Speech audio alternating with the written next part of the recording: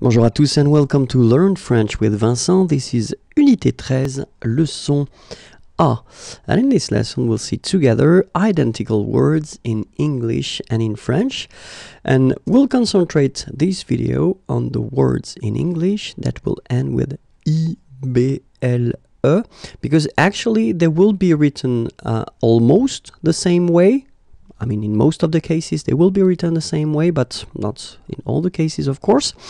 And uh, the meaning will be the same, all right? But then the first thing that you've got to keep in mind is that uh, the word must exist in French because all the words ending with IBLE in English, um, well, they don't exist in, uh, in French, okay?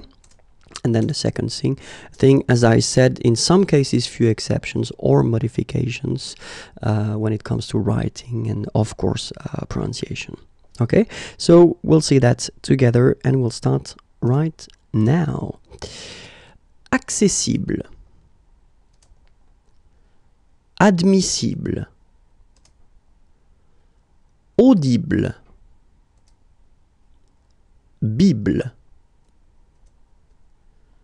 combustible, comestible, compatible, compréhensible, conductible, constructible, convertible, corruptible, crédible, divisible, éligible, extensible, flexible, fusible, horrible, impassible, implausible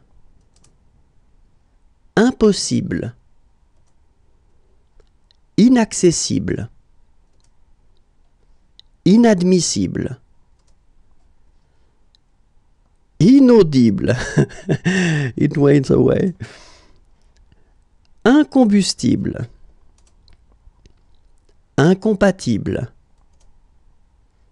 incompréhensible, inconvertible incorrigible, incorruptible, indestructible, indivisible,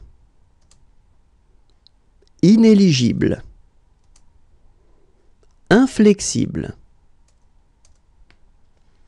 intelligible, invincible, invisible, irrésistible, passible,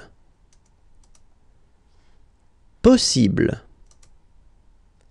reconstructible, répréhensible, réversible, risible, sensible,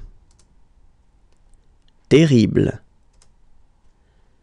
transmissible, visible. And that's it. Uh, if you want more videos, then youtube.com slash imagier. And then like me on Facebook, I will be so happy. The address is right here. And then the website is waiting for you www.imagier.net. Have a great day. Bye bye.